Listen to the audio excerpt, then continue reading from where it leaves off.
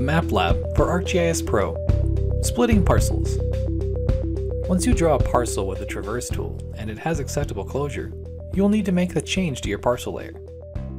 To do this, first make parcels the only selectable layer by right-clicking on the layer, choose Selection, and make this the only selectable layer. Next, select the parent parcel that needs to be split. From the Tools menu, click Split.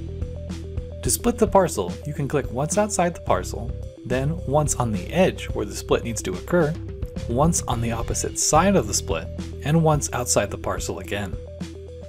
Right-click and press Finish. The parent and child parcels should flash blue.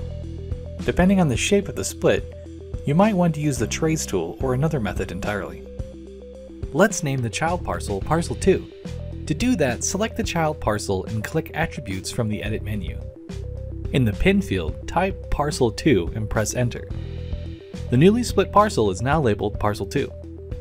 That was one way to split a parcel. But what's another common way?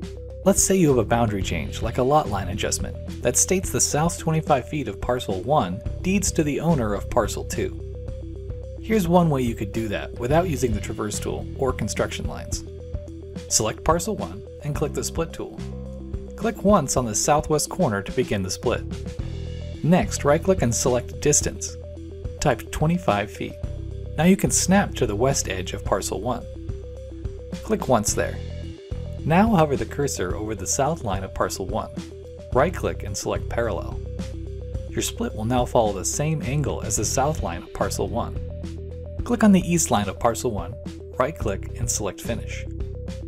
Now you have the south 25 feet of parcel 1 split off, and we need to merge it into parcel 2. To do that, select the south 25 feet of parcel 1 and parcel 2 and press merge. Select the feature for parcel 2 so that its attributes are preserved and press merge. Now parcel 2 should include the south 25 feet of parcel 1. Remember to save your edits if it worked how you expected. Those are a couple common ways to split a parcel in ArcGIS Pro.